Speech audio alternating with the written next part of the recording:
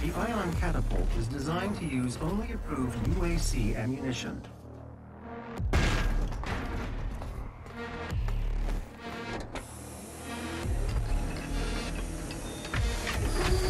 Override loading sequence. Fire. Three, two, one,